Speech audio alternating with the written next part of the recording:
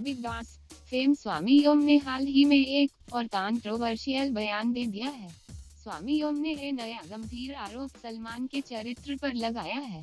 हाल ही में एक press conference के दौरान स्वामी ओम ने कहा है, सलमान खान को एड्स है, इसलिए वो शादी नहीं कर रहे हैं।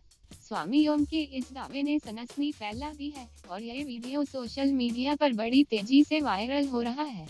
स्वामी ओम ने ये आरोप लगाते हुए कहा कि यही वजह है कि सलमान अब तक शादी नहीं कर रहे हैं।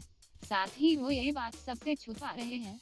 स्वामी ओम ने ये दावा किया कि सलमान की एक बीवी और बेटी भी है जो कि लंदन में रहती है, जिसके बारे में किसी को पता नहीं है।